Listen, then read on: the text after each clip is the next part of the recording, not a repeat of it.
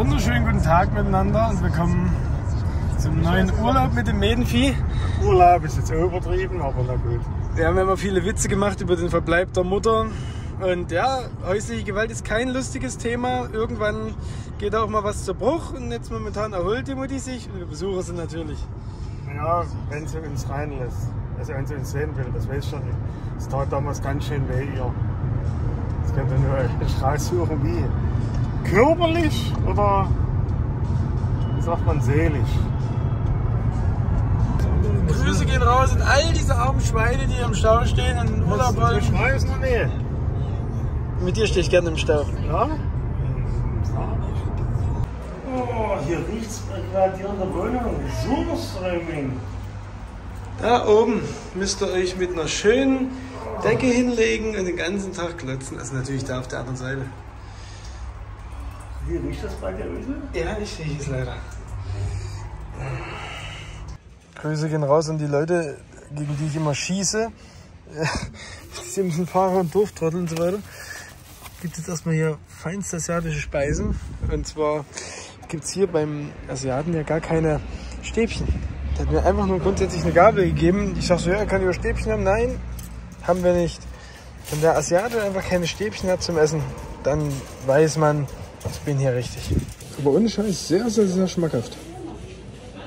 Genauso die Rezeptur, wie ich es früher in Erinnerung habe. So richtig viel Glutamat und sowas drin. So hat es als Kind immer geschmeckt. So schön dunkel die Nudeln. Heutzutage sind die immer überall viel zu hell. Und immer nur so dieses Standardgemüse drin. Auf dem Dorf gibt es das immer noch richtig geil. Wann wird Bubatz legal? Dann ist dein Müll. Hast du dich eigentlich schon darauf eingestellt, diesen Winter nicht zu heizen? Brauch nicht heizen. Ich, ich habe genug eigene Wärme.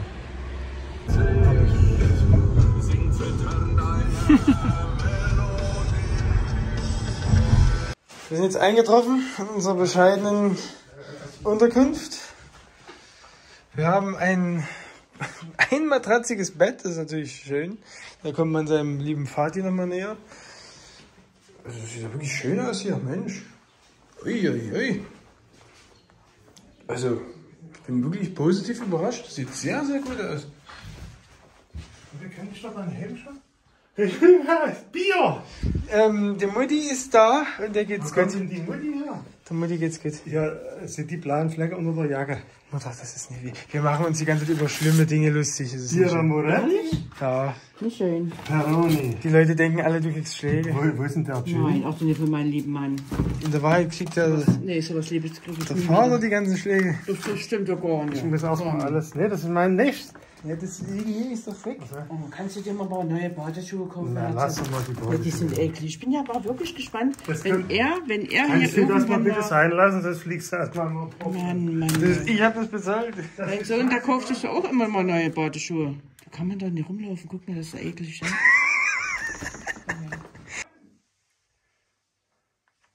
Ja? Endlich. Nach so langer Zeit, nach so langer Fahrt. Wirklich. Das erste Bier seit vier Wochen. Wirklich. Herrlich.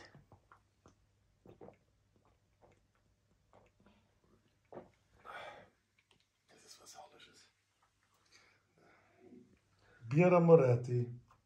Grüße gehen raus. Ein super Fahrer. Also ich muss echt sagen, ich bin sehr begeistert von diesem wunderbaren Fleckchen Wohnung hier.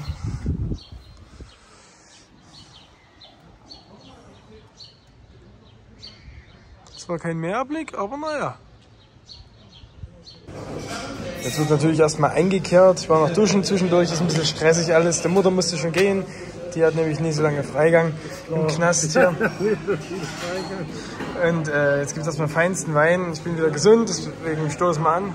Du warst nicht krank? Naja, Gut. Ja, ja. wir haben auch den passenden Tisch diesbezüglich. Covid-19. Die fetten Tage der Austern sind vorbei. Ich habe gestern meine Steuererklärung gemacht. Jetzt gibt es nur noch Restesuppen. Oh, hier ist schon die Parkinson wegen dem Alkoholmissbrauch über Jahrzehnte. Ganz, ganz traurig. Und altes Brot. Und Öl. Öl ist teuer. Oh, das müssen wir abfüllen. Das müssen wir, Max, wir füllen das ab. das Ding ist mal aus der Hand. Lass es dir schmecken. Danke.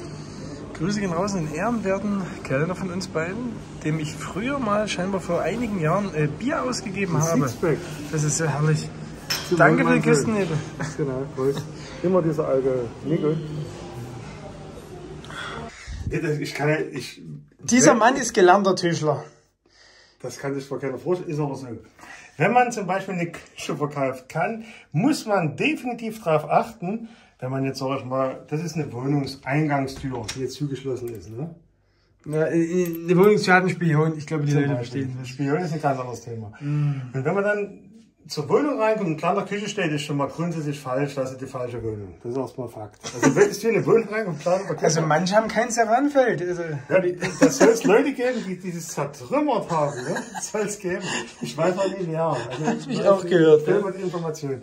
Und dann muss man die Wandblenden weitermachen von Türfutter, dass wenn man den Schieber, das, das ist die Wandblende. Hier, hier unten.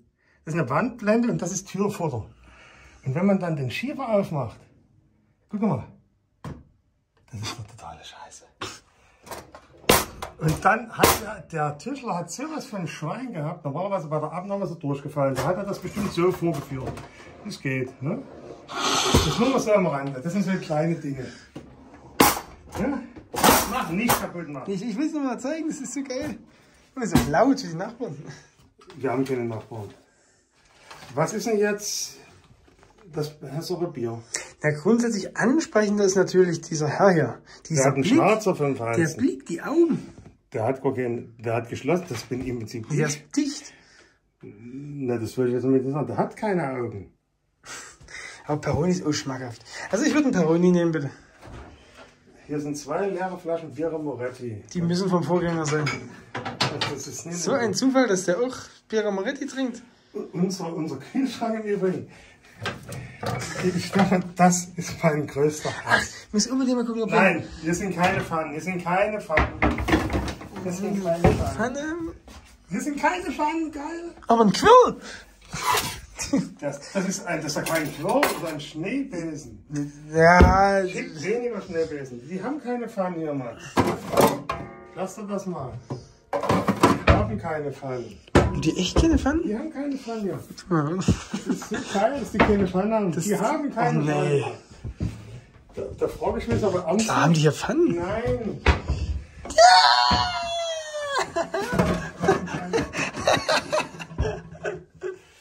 Also kann ich morgen die Berner Würstel machen, das ist schön. Nicht die, die guten Berner.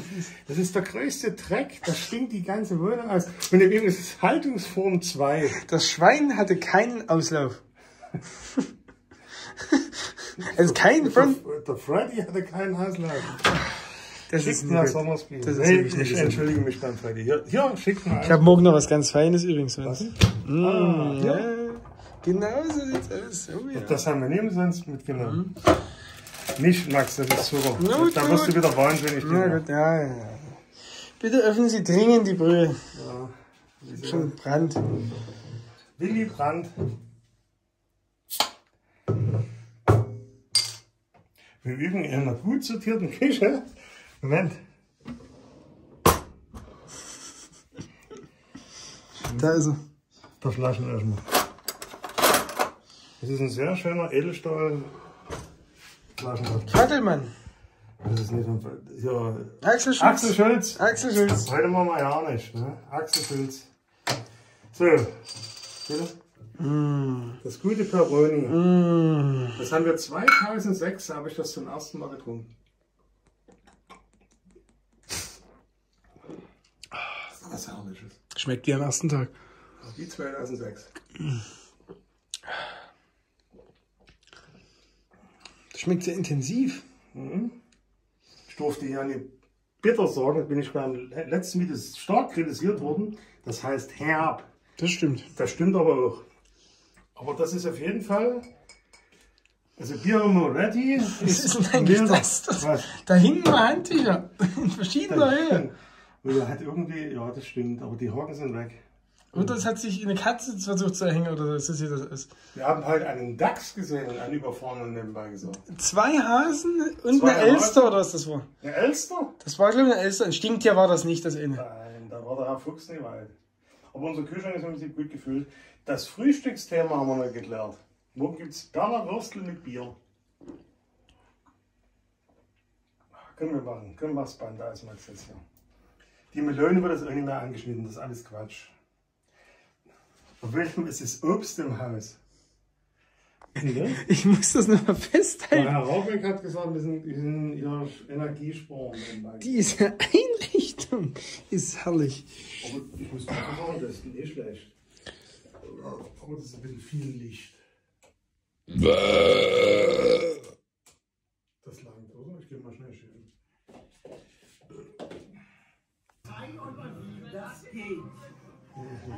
In der Gießkanne. Pfeffi. Grüße gehen raus. an- Er hat, hat heute Geburtstag. Nee, gestern. Hatte der Uwe Geburtstag, ja? 66 Jahre. Auf den wunderbaren Mann. Uwe. wir zum Schluss. Dann nehmen wir erstmal hier den Jägermeister. Jägermeister. Dass ich da jetzt mal vor kurzem ein. Afrikaner zu Tode gesoffen hat, möge der Mann in Frieden ruhen. Ich hatte jetzt überlegt, wie ich es formuliere. Es war nicht Hector Panzer. Dann haben wir hier Ne? Gin. Ach, Gordon. Ach, das geht ja gar nicht. Das kannst du nicht bringen. Das, äh, das geht ja gar nicht. Das findet aber alles in die Gießkanne. Das geht ja nicht. Dann nehmen wir ist ganz traurig. Ein, ein erwachsener Mann. Bist du das in zehn Jahren? Das werde ich schon in 100 Jahren sein. Das ist so faszinierend. gießt sich quasi selber. Das ist so schön, wie du das anguckst.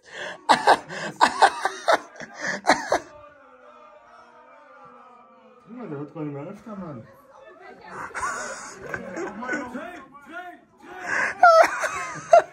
Ich kann nicht mehr. Das ist ganz traurig. Das ist ganz traurig. Guten Morgen. Schönes Wetter, die Nacht hat es geregnet. Mm, boah. Hier sind Dinge geschehen, um Gottes Willen. Oh. Wo gibt's denn das Frühstück? Du wirst nicht glauben, ich habe mir so ein Hirn schon im Ofen warm gemacht. Wie siehst du draufklappen? Covid-19. Ja? Wenn sie einen SARS-Test machen. Ja, gut, das ist mein Frühstück. Also, das ist mal Wetter. Hier hinten ist das Wetter ein bisschen schöner. Aber das wird ab 6 Uhr kommt die Sonne, definitiv. Na gut. Also hier sieht es ein bisschen grausam aus. Und windig ist es auch. Und warm ist es auch nicht. Also man muss schon lange Klamotten tragen. 19 Grad, naja. Also wirklich überall in Deutschland 35 Grad gefühlt dann, aber dieses Wochenende an der Ostsee sind natürlich unter 20. Ah. Jo, ist ja ein Tod. Hier regnet es massiv ab, ja. Also, es ist kalt. Das ist gut. Ja. Hier sehen Sie die historische Uhr in Aalbeck. Eine der meist fotografierten Sehenswürdigkeiten hier in der Gegend. Der Mann macht immer sein Business, herrlich. Aber als Zuhälter mit drei Bordellen hat man auch immer was zu tun. So. Der Vater traut sich nicht. Deswegen geht es jetzt mit der Mutter aufs Riesenrad. 33 Meter hoch. Also ich muss ganz ehrlich sagen, ich habe auch schon wieder massives Muffensausen. Oh, ist das windig. Oh. Mutter ruhig, Mutter ruhig, Mutter ruhig. Oh, das ist... Ich, Mutter, Mutter ruhig, Mutter ruhig, ganz ruhig, sonst wird mir auch schlecht. Wir müssen da sechs Runden durch. Oh, das ist wirklich windig. Oh! Ah.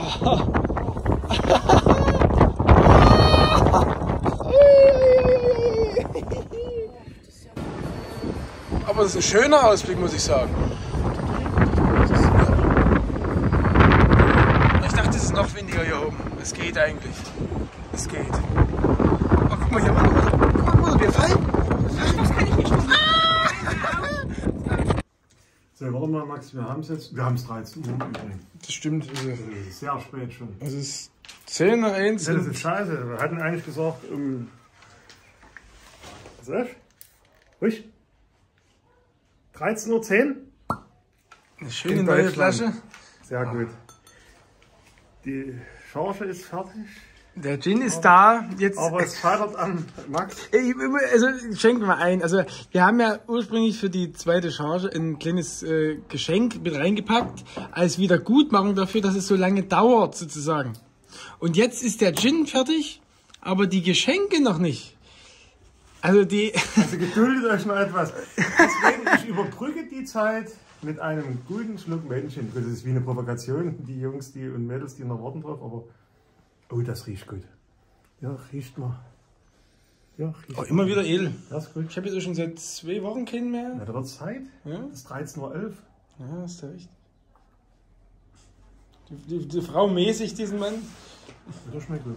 Das ist mild. Der geht gut, nein, auch mit Danke. 44 Prozent. Das ist, das ist wirklich gut. So, mach's Band aus jetzt, damit die nicht sehen, wie viel wir trinken. Mutter, was sagst du dazu? Na, ich darf ja nicht trinken. Der Vati hatte Langeweile, weil wir lange aufs Essen warten und hat in Uwes Fischerhütte einfach das Ding auseinandergebaut. Und früher als Kind habe ich immer? Ärger bekommen. Wie geht das denn hier? Das ist sehr einfach. Oh, Entschuldigung. Ja, heutzutage ist übrigens eine Beleidigung, ja. Das, oh ja. Du machst dich ja nicht mehr entschuldigen.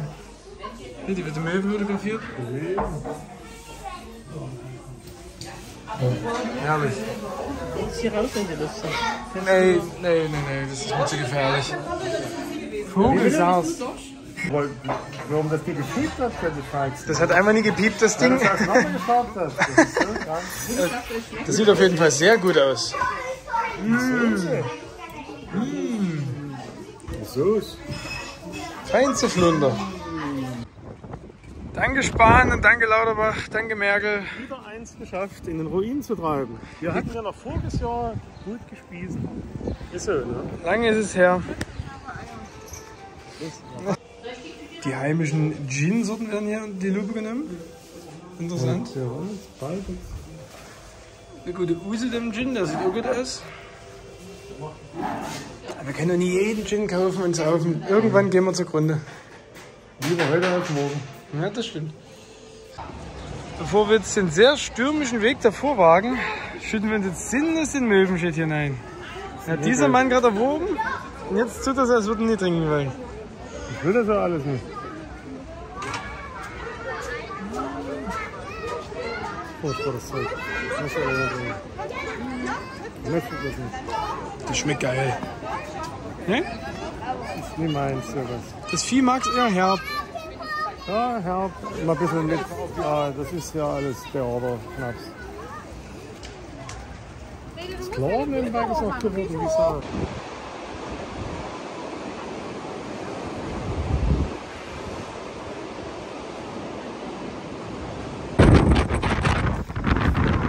Wie bitte? Was ein Mist. Ah. Ich muss Sie leider darauf hinweisen, dieses Beförderungsmittel zu verlassen. Mama. Gleich. Karriereschrank ist sofort. Eine Rasur wurde gerade unternommen und ich habe mich jetzt hier der klassischen Bevölkerung und Urlauberschicht angepasst. Fehlt nur noch die Camp David Jacke und das Camp David Shirt und dann bin ich eigentlich perfekt. Und ist dein Statement? Prost. Oh! Horst Kappert. Von der Hafenbar. So sah Horst Kappert aus.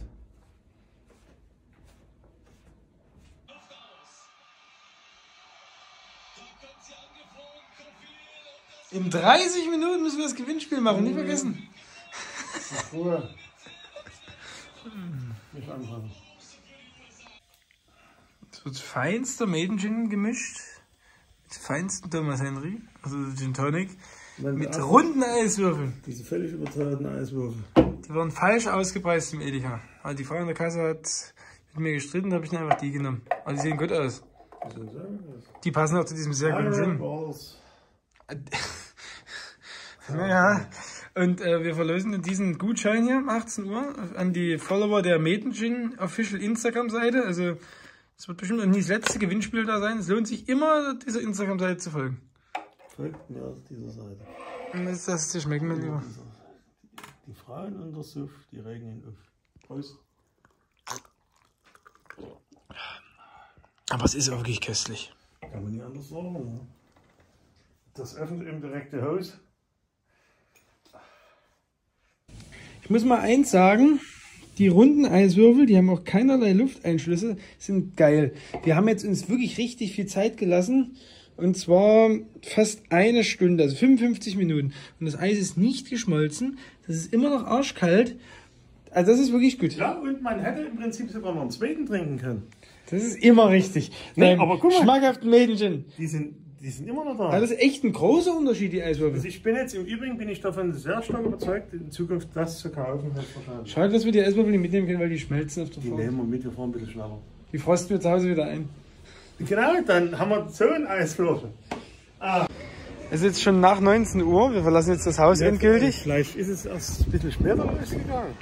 Jedenfalls ist heute hier ein Gin-Tasting-Event von Knut ich Hansen. schon immer mal probieren. Das ist einer der, der Gin, die, oder, die ich gerne mal probieren wollte. Das ist wirklich so. Das ist eine Schande, wirklich.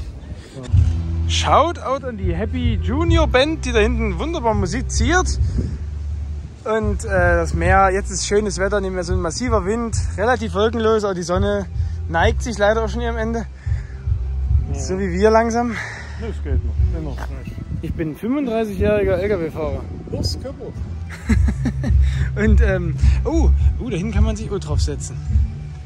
Wenn du genug Melkfett hast, ist ein schöner Obelisk. Naja, wo gehen wir jetzt eigentlich was essen? Das weiß ich nicht. Das weiß ich wirklich nicht. Feinste Speisen. Nur völlig.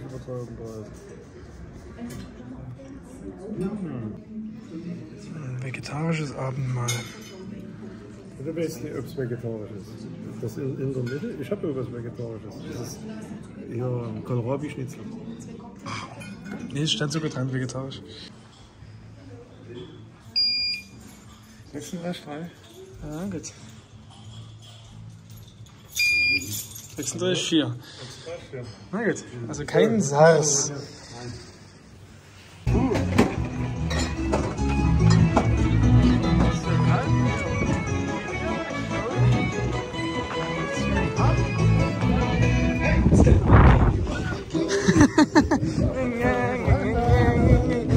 Aber wir gehen jetzt dahinter, denn da ist Benzin.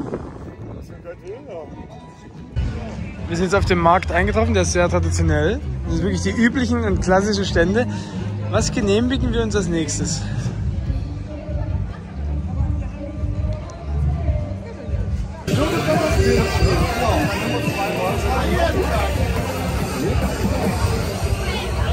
Hier ist die Welt in Ordnung.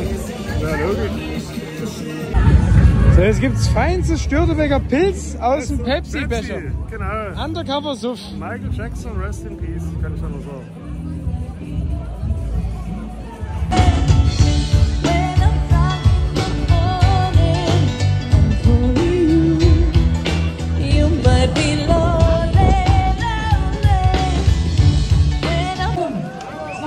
I'm Kapitän!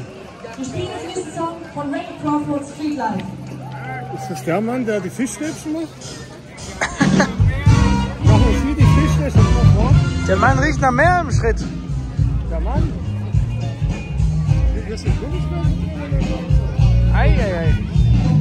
Auf Klobollen hier drin rumfahren. Hier geht dann gleich das Feuerwerk los in ungefähr 20 Minuten und ich bin sehr gespannt.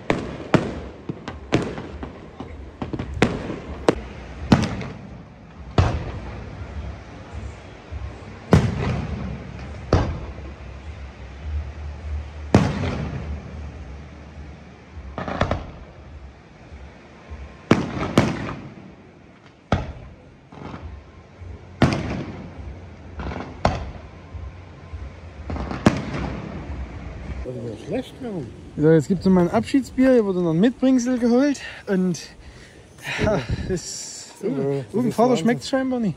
Das ist nicht gut. Ich kann doch nicht immer Alkohol trinken, sag mal. Bist du verrückt? Du hast mir was ganz anderes beigebracht, meine Lebenszeit lang. Was habe ich mir beigebracht? Das Gegenteil. Nicht viel eigentlich. ne? Ja, das stimmt. Nee, äh, einige. hast, hast mir eine, eine schöne Nülle vererbt, das reicht völlig aus. Das ist von der Hauptsache. Ähm, ich freue mich schon, wenn es nach Hause geht. Dann gibt es schon mal Abendessen. Ich wäre bestimmt. Ich wäre am Auto schlafen. Wir müssen jetzt fünf Kilometer nach Hause laufen. Scheiße. Das Leben ist hart. Ja, ist wirklich hart. Wir sind nun angekommen daheim. Bier haben oder die? Jetzt gibt's der Berner Würstel. Machst du, uns, machst du uns bitte noch ein schönes Bier auf? Na, eins geht er noch. Ja, das ist aber. Da trinke ich aber Bier Moretti das letzte. Da musst du Peroni trinken. Das ist, Gerne. du musst Peroni Das trinken. klingt wirklich nach einem Das ist scheiße. ganz schlimm. Na, wir jetzt ein Abschlussbier trinken okay? Warum eigentlich Peroni äh, blau? Ist das, das, na, weil das Rote besser schmeckt. Entschuldigung, die hatten nur das. Ne, mehr, mehrere Leute haben mich beleidigt. Deswegen, heftig. Das ist der blanke Neid. Na gut, ja. Mit dem Medenvieh, schon belegt. mit dem Medenvieh würde ich sogar Turmbräu genießen. Das ist doch diese Dreckswurst an. Das höre ich öfter. Jeder muss wieder runterkommen. das ist der pure Hass für mich, diese Würste. Ja. Und ich möchte mal auf die Uhrzeit hinweisen. Es ist kurz vor dreiviertel eins. Es ist wirklich. Ja, halb eins. Naja, es ist spät auf jeden Fall. Auf jeden Fall zu spät für Berner Würste. Dieser Geruch, der macht mich aggressiv. Ja, Klose ich möchte noch mal hinweisen auf, ja, das ist noch ekelhafter. Ich möchte noch mal auf die Haltungsklasse 2 hinweisen. Ich möchte darauf, ich möchte darauf hinweisen, dass ich immer noch kein Bier in der Hand halte. Ja, warte mal. Das, ist, das, das kaut ja alles ab. Na gut. Da war das Fetsch ist. Oh, hier wird aber auch schon genossen. Ja, das ist hier ist immer noch Fettspießer. Ich hasse das alles. Ich hasse meine Leben. Wenn sowas ist, ja. Ich hab sie sehr lieb. Weiß ich nicht. Ich hab immer noch Wenn, Durst. wenn du da, wenn du Berner Würste brätst, ha- ha- hab ich dich nicht lieb. Dieser Geruch, der steigt schon in meine Nase. Das ist, macht mich wirklich wahnsinnig. Mich macht das, mich macht das wirklich spitz. Das, ich muss das Balkon machen. Ja, Prost. Mm. Bier am Moretti. Du, Das kann man nur im Alkohol oder Wobei wir heute im Alkohol. Ja, Immer Alkohol, Wahn! das ist was Kleines. Riecht dir das? Wenn euch Mühe gebt, riecht ihr das. Wie kann man seinen Morgen das so feinstes Risotto gegessen?